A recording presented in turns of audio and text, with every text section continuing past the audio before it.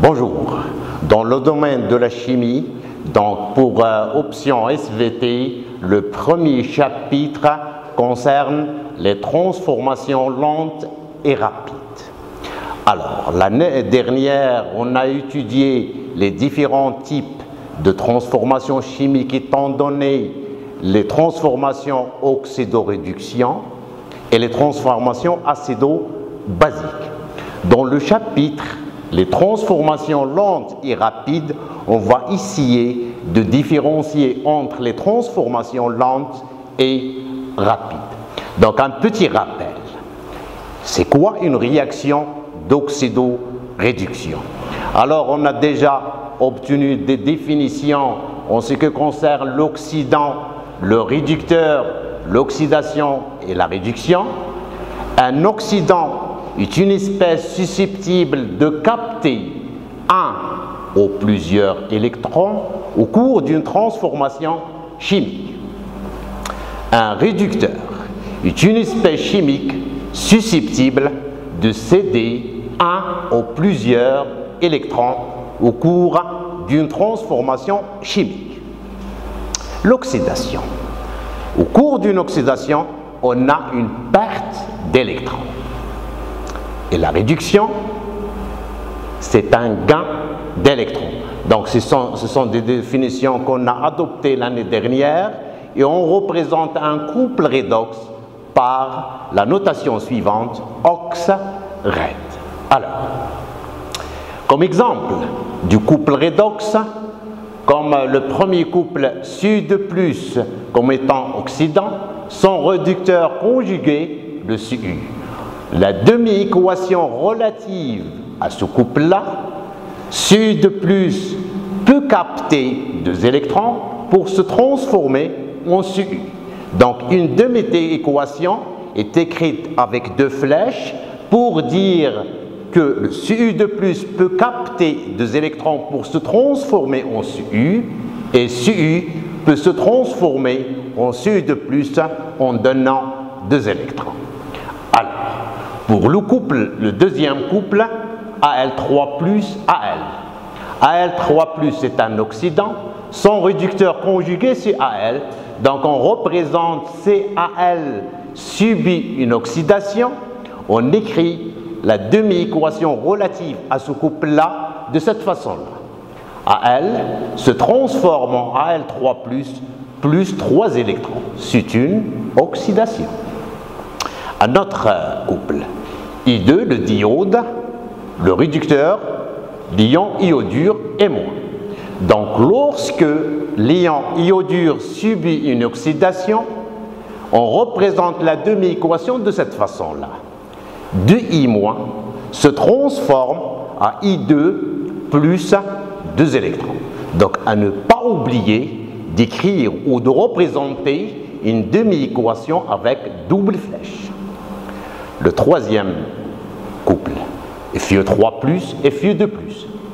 Donc, Fe2 plus en captant un seul électron se transforme en Fe2 plus. Alors là, donc c'est la même idée. Nous avons d'autres couples, comme vous voyez, N-3, NO, H plus, H2, etc. On va faire quelques exemples pour écrire, pour être capable d'écrire l'équation relative à une équation d'oxydoréduction. Alors, un couple d'oxydoréduction. C'est quoi un couple? Un couple d'oxydoréduction, ce qu'on note oxred, est constitué par un oxydant et un réducteur. Ce sont deux espèces conjuguées. Ils sont reliés par une écriture formelle appelée demi-équation d'oxydoréduction qu'on note de cette façon-là. L'oxydant capte un électron pour se transformer en un réducteur conjugué. Alors on va adopter ces notations si l'oxydant est le réactif, la demi-équation s'écrit sous la forme ox plus n électrons dans red. Si le réducteur red est le réactif de la demi La demi-équation, sucrée sous la forme raide, se transforme en ox plus un électron. Donc, euh, on va adopter cette écriture-là de façon à écrire à gauche le réactif. Alors, il faut savoir un couple redox. Donc, le couple redox est formé de deux espèces conjuguées. Le passage de l'un à l'autre se fait par un gain ou par une perte des électrons. Alors, c'est quoi une réaction d'oxydoréduction On va donner ici un exemple.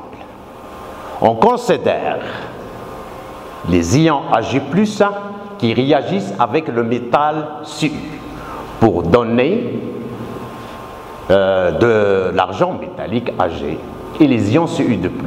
Ici, les couples qui interviennent dans cette réaction-là, c'est Cu de plus Cu et Ag plus Ag. Vous voyez l'expérience qui est devant nous. On a introduit un fil de cuivre dans une solution de Hg plus NO3, nitrate d'argent. Alors ici, les réactifs sont Hg et le Cu. Et les observations qu'on peut observer à partir de cette expérience, vous voyez que la solution prend une couleur bleue, ça veut dire on a la formation de Cu de plus, il y a un dépôt métallique sur le fil de cuivre, c'est Ag. Donc pour représenter cette expérience par des demi-équations, nous avons Ag et Cu comme étant des réactifs. Donc Ag se transforme en Ag pour, en captant un électron. Par contre, le Cu se transforme en Cu de plus en captant deux électrons. Voilà les deux, les deux équations relatives à, au couple mais en là. Mais pour en déduire l'équation de la réaction, il faut bien tenir compte que le nombre d'électrons captés doit être égal au nombre d'électrons gagnés. Alors on en déduit l'équation de la réaction de Ag+, plus Cu se transforme en 2Ag plus Cu de plus. Donc c'est un exemple pour être capable d'écrire une équation d'oxydoréduction à partir des observations expérimentales. Alors, un autre exemple. Donc ici, notre objectif, c'est de savoir écrire une équation à partir des observations expérimentales en utilisant les couples. Nous avons un autre deux couples, FiE de plus et FiE3 plus et FiE de permanganate MnO-4, Mn de plus. Alors là, on va commencer, donc les réactifs là, c'est FiE de plus et MnO-4. Et là, on va essayer d'écrire les deux mes équations. FiE de plus se transforme en FiE3 plus plus un électron. Par contre, le deuxième couple se fait dans un milieu acide. MnO-4 plus 8H plus plus 5 électrons se transforme en N de plus plus 4, 4 H2O pardon. Alors, comment distinguer une transformation rapide d'une transformation lente? Je commence par une activité, la transformation rapide. Je considère deux solutions. Une solution de thiosulfate de sodium et une solution d'iode I2. J'ajoute la solution du diode I2 caractérisée par une couleur jaune à la solution de thiosulfate de sodium.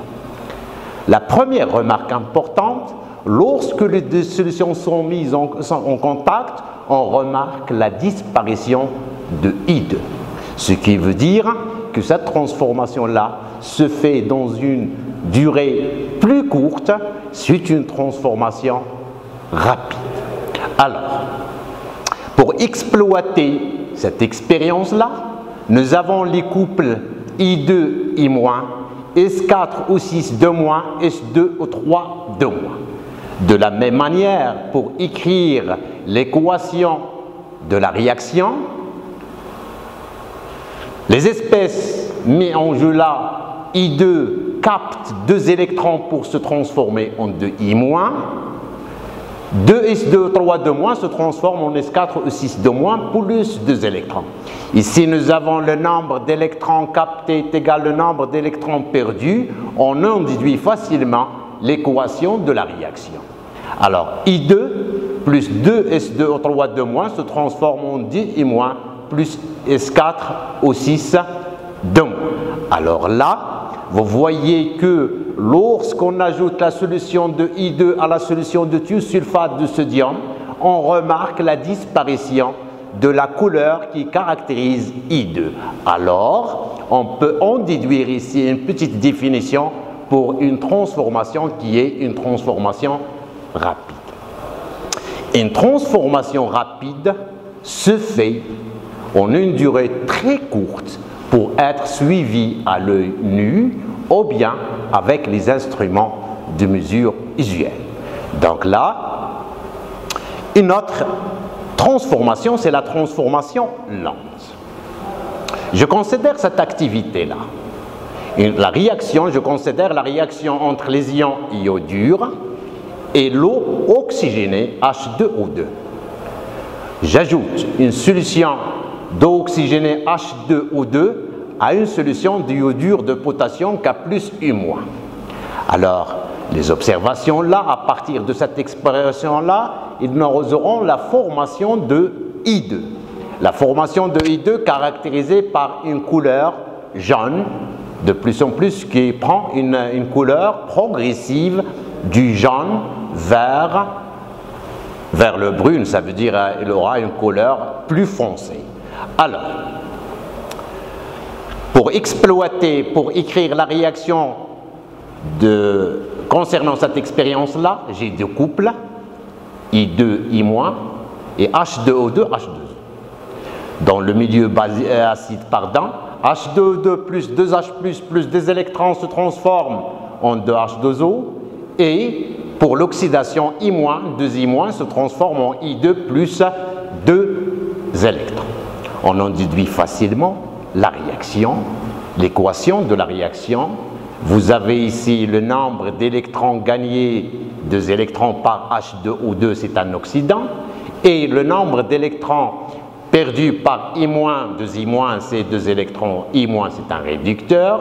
Donc H2O2 réagit avec les ions iodures, 2I-, dans un milieu euh, pardon, acide H+, aqueux pour se transformer en H2 2H2O plus I2.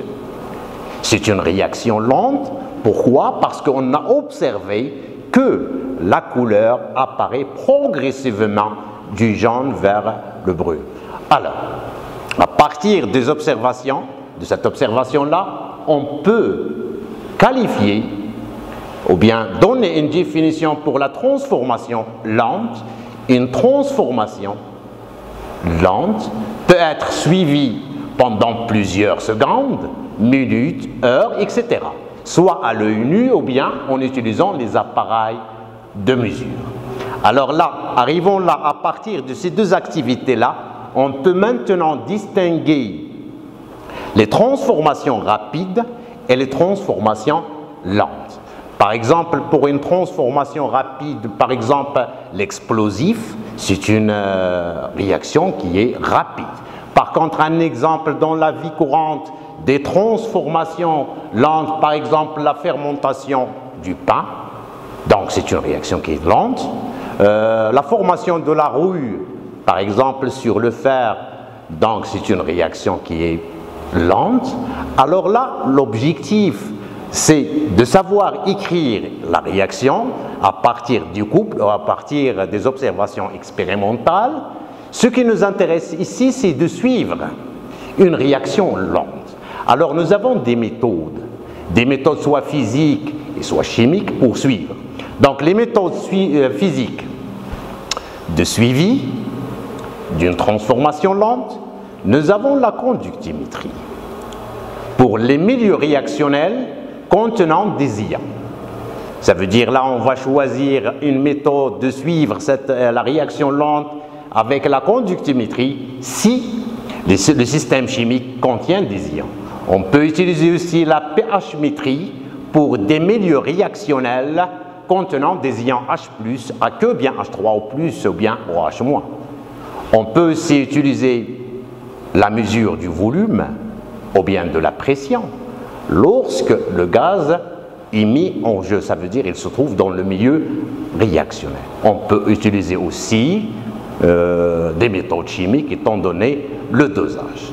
Alors, ce qui m'intéresse là, c'est de savoir écrire une réaction d'oxyde de réduction et à partir des observations expérimentales de différencier une transformation qui est lente et une transformation qui est rapide.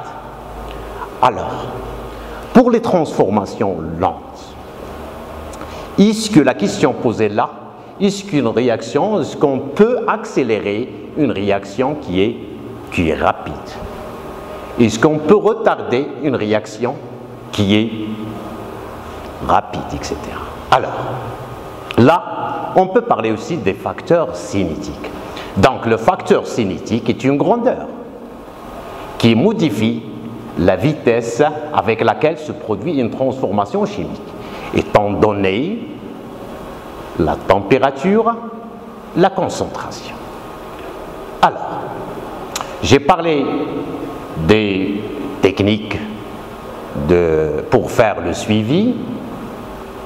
Alors là, j'ai parlé de facteurs cinétiques, donc, euh, donc le facteur cinétique, c'est une grandeur qui permet de faire varier, je parle ici de la vitesse de la réaction. Alors là, je commence par l'influence de la température là.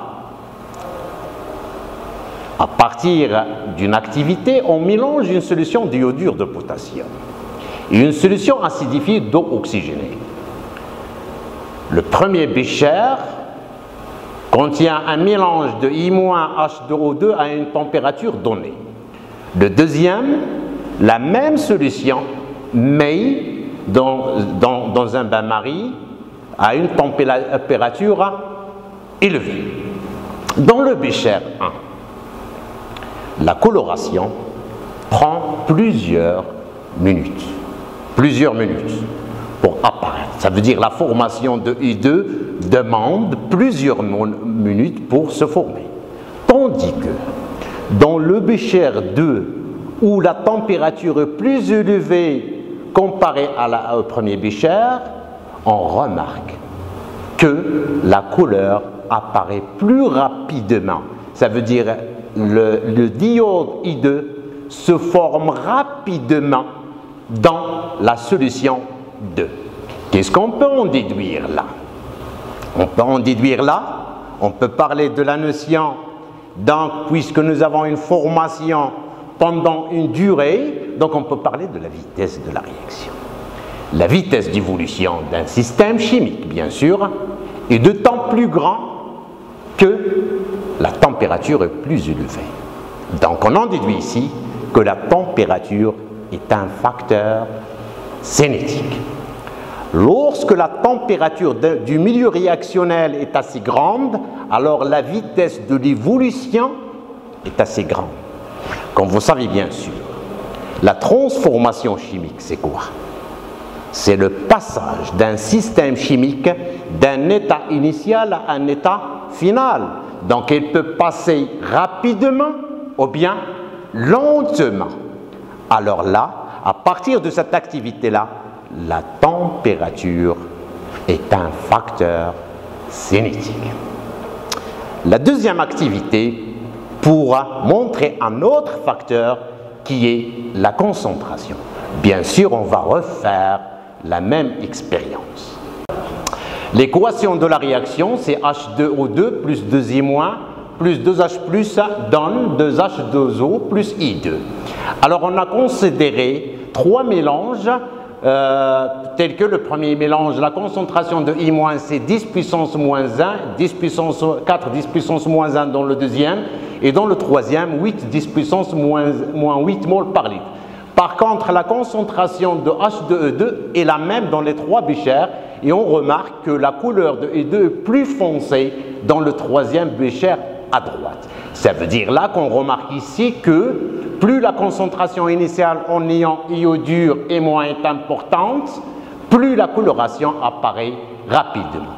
Donc en conclusion, la vitesse d'évolution d'un système chimique est de temps plus grande que les concentrations réactives sont importantes.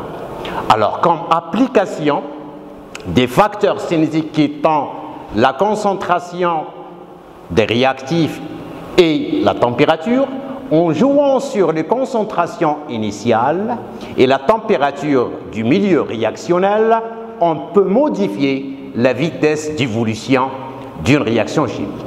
Par exemple, certaines réactions sont trop lentes à la température ordinaire pour être mises en, en ouvre industriellement. On les réalise donc en portant le milieu réactionnel à une température à laquelle elle devient suffisamment rapide. Par exemple, la cuisson des aliments s'accompagne des, euh, réactions chimiques. Leur temps de cuisson est d'autant plus court que la température est plus élevée. Un autre exemple, les mélanges euh, combustibles comburants sont en général cinétiquement inertes à la température ordinaire. La combustion doit être déclenchée par une élévation de température. Comment ralentir ou arrêter une transformation chimique? Donc, par exemple, sous l'action du micro-organisme, pour, euh, pour euh, ralentir, il faut mettre dans un milieu à température basse. C'est pour cela qu'on utilise la trempe. La trempe désigne le refroidissement brutal que l'on fait subir à un système chimique si le refroidissement est suffisamment rapide, la vitesse d'évolution devient très négligeable. Et le système aura la même composition qu'il avait à plus haute température. Alors, comme cette image montre, pour arrêter une réaction, on peut également diluer le milieu réactionnel avec un mélange d'eau et de glace et de glace. On utilise ainsi simultanément les facteurs cinétiques, température et concentration. Alors, donc à la fin de, de la leçon, les connaissances, il faut écrire l'équation de la réaction associée à une transformation d'oxyde de réduction, définir un oxydant et un réducteur, et le savoir-faire là, c'est de montrer à partir des résultats expérimentaux l'influence des facteurs cinétiques sur la vitesse de la réaction. Aussi, donc, c'est les connaissances à savoir et c'est le savoir-faire. Il y a euh, d'autres facteurs cinétiques qu'on peut indiquer dans les sciences prochaines. Alors ici, les facteurs, je répète, les facteurs cinétiques, c'est la température et la concentration des réactifs. Il y a d'autres euh, euh, facteurs cinétiques. Et notre leçon s'arrête là et à la prochaine science.